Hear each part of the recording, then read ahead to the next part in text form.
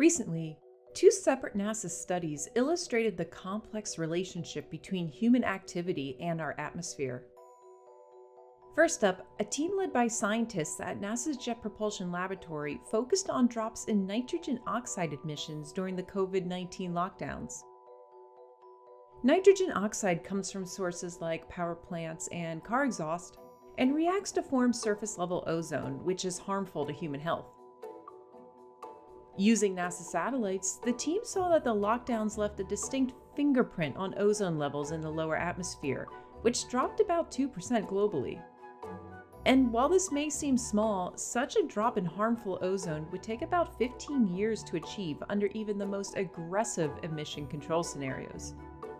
Interestingly enough, the team found that these drops were not uniform across the globe, that where and when the lockdowns occurred was very important in determining the impact on the atmosphere.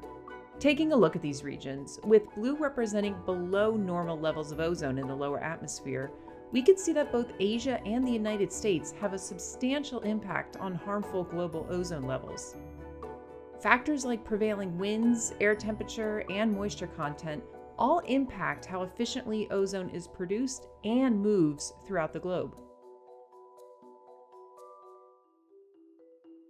Like ozone, CO2 is a long lived gas that is easily transported through the atmosphere, which means that any changes in emissions is mixed with many different influences from both near and far. This makes it challenging to track and measure how local changes in human activity actually impact the levels of this greenhouse gas. Using NASA's OCO2 instrument and the GEOS model, NASA researchers were able to spot short term regional fluctuations in the atmosphere due to drops in human activity related to the lockdowns. This is the first time changes in CO2 measurements have been tracked at such a scale all over the globe. The team's results showed that the CO2 emissions dropped significantly in the Northern Hemisphere from February through May and rebounded during the summer when some restrictions eased.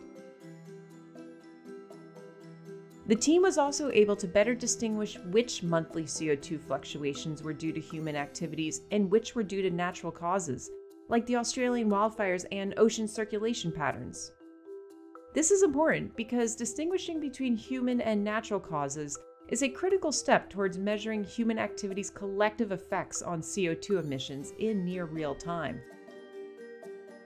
The lockdowns surrounding COVID 19 were an unprecedented global event that highlighted the complex relationships between emissions and the atmosphere.